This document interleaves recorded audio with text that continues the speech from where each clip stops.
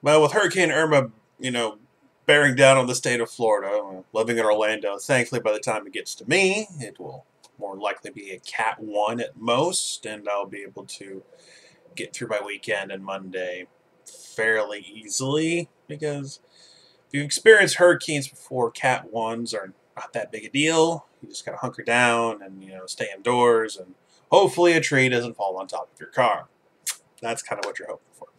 Uh, but as for football, uh, this is a big one. It's one I've been waiting for for all off season. Heck, this time last year.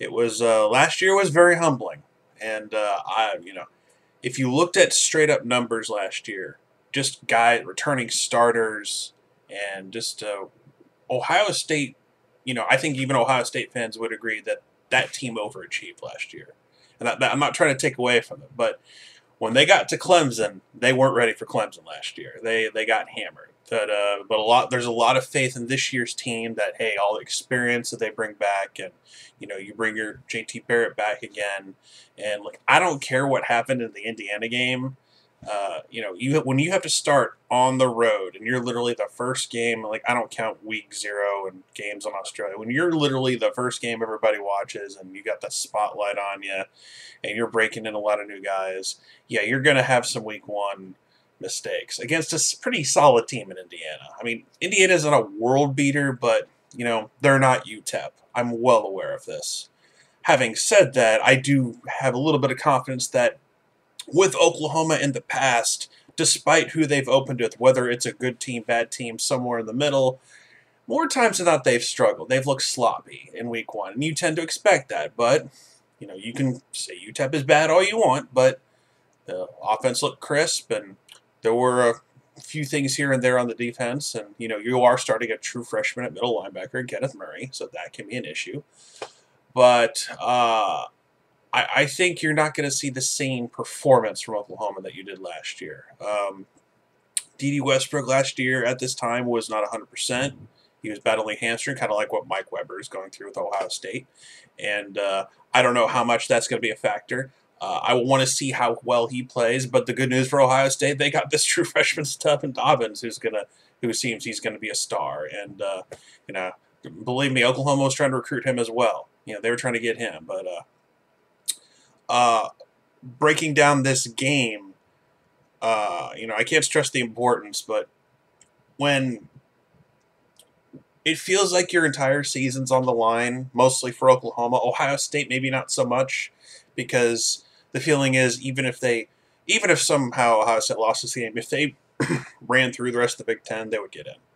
They would totally get in. They, if they they won the Big Ten championship, means they would at some point have to go through Penn. They'd have to go through Penn State, go through Michigan, uh, maybe a Wisconsin in the Big Ten championship game. Who knows? But I I believe that they would get through it. And for Oklahoma, though, you know, we can talk about conference pride, and because I don't care, I, I, care about this is the game you have to win if Oklahoma win, doesn't win this game, I don't think it matters how good or bad the Big 12 is. Because, yeah, you can have, oh, yeah, there's Oklahoma State, and TCU, I think, is going to be good this year, despite, like, no one really paying attention to them. Uh, Texas is awful. Uh, trying to think who else. Baylor is going to be average at best. Uh, West Virginia, I don't have high hopes for. So, this is the game you have to win. I think there's more on the line for Oklahoma than Ohio State. Having said that, doesn't mean they're going to win.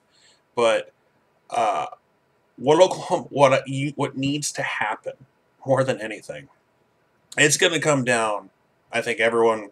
This is not like out of thin air thought here, but it's going to come down to the Oklahoma offensive line versus the Ohio State defensive line. Can the O line for Oklahoma win its fair share of battles? Now, that's not a stretch. The Oklahoma offensive line arguably is the best in college football. And the defensive line for Ohio State is arguably the best in college football.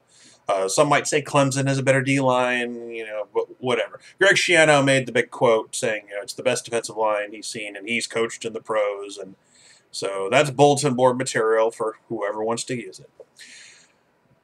But I, I, I the one thing I want to see is can these receivers make plays that's not against UTEP? Can CeeDee Lamb? Can Jeffrey Mead? Can you know, some of these other guys. I think the one guy that's going to give Ohio State, win or lose, nightmares all night long is Mark Andrews, our tight end. I think he has the opportunity, the ability to make like to make life very difficult for the Ohio State linebackers and their secondary. I think he has the, especially if they get down to the red zone, he is going to be a matchup nightmare.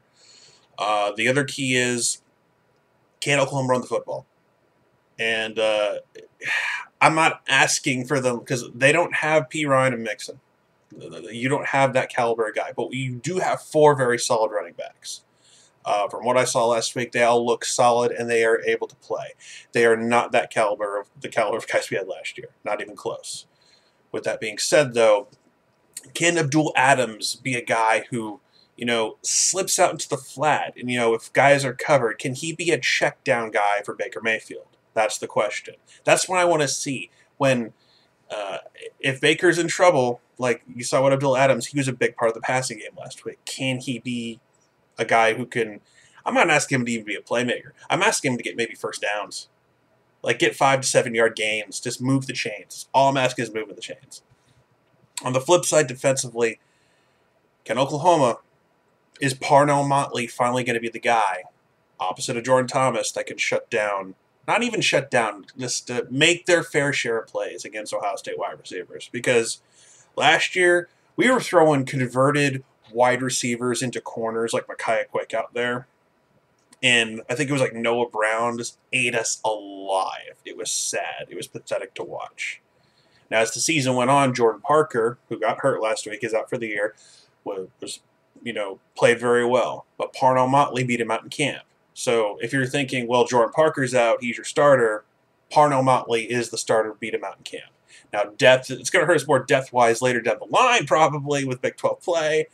But yeah, I just don't. Uh, I don't think that's going to uh, hamper uh, the secondary in this game. Steven Parker's healthy. Will Johnson, you know, he's replacing Ahmad Thomas at free safety. We'll see how that goes.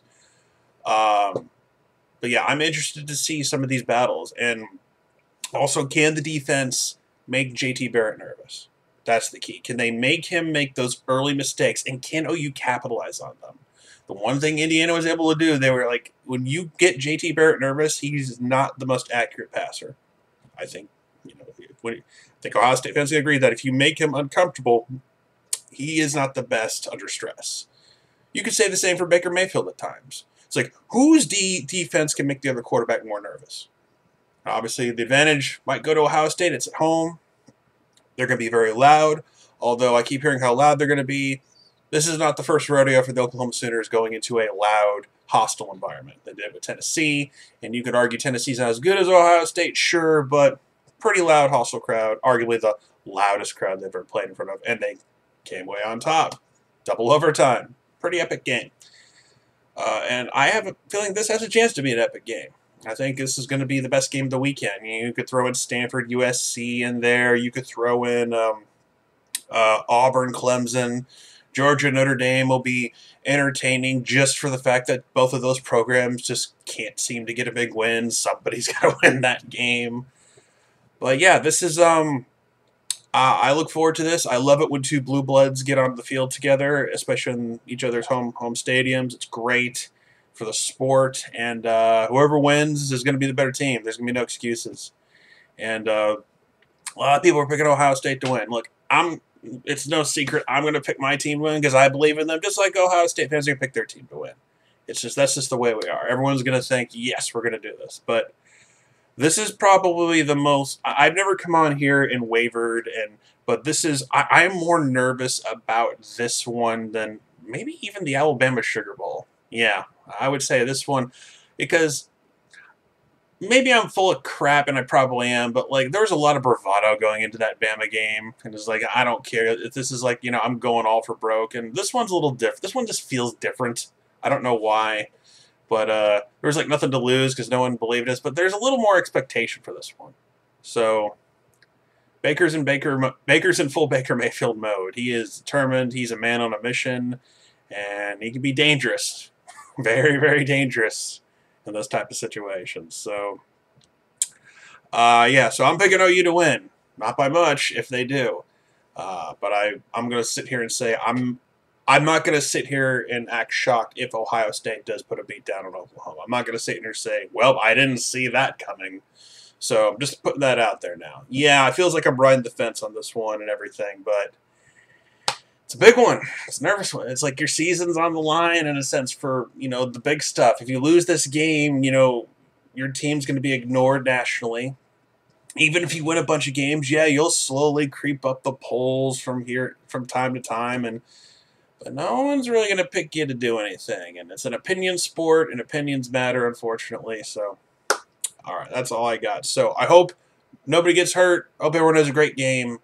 And uh, hopefully uh, we, uh, who knows, maybe we'll get it down to a field goal, just like in 1977. That would be pretty cool. Hopefully Seibert could make that big of a kick if possible. So uh, you all have a good one. If you're dealing with a hurricane like I am, stay safe. And um, if, by the way, and if by some reason you don't see a recap video, win or lose, probably because my power is out.